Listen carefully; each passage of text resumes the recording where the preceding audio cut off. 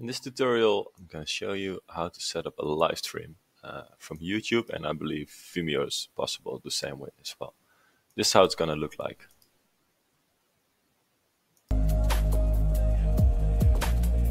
And it could be any live stream, of course. And actually, it's quite simple.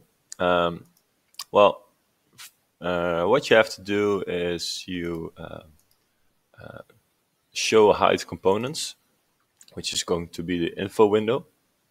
Uh, and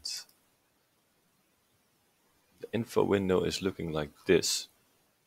Well, basically the only thing you would have to do, like without the fancy design, is uh, to insert a web frame.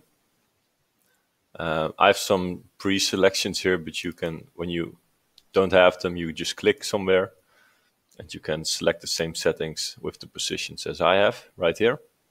And then um, you go to the live stream you have. I have this chill out thing. And usually this is not added. You have to add this yourself and autoplay is one. Um, somehow it's, I haven't figured out yet when it's working, when it's not working. Um, hopefully soon I'll have.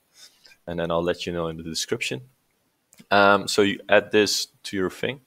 You say preview Broekhuizen bestaat uit uh, boutique. But yeah, now I cannot close anything, so sucks. so that's why uh, we're going to close this, go back, and show you how to do it more properly. So you go to sets, then you choose like, uh, I don't know, I like the floor plan somehow. Uh, this one or that one doesn't really matter that much. Um, this one has a title. So you can say, okay, YouTube live. And then uh, the YouTube live, wait. Uh,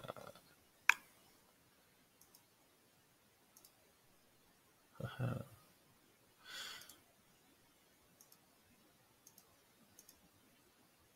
take this live stream you just created. I already had it in this window, but I'm going to remove it out of here. Um, then I got this web frame here. I'm going to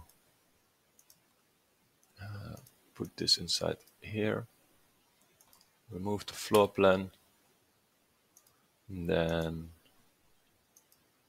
check these settings. This is going to be 100%. Now it is ready to go. Park Broekhuizen bestaat uit uh, boutique hotel en restaurant Voltaire. Je kunt hierna... So, thanks for watching and uh, hope it helps.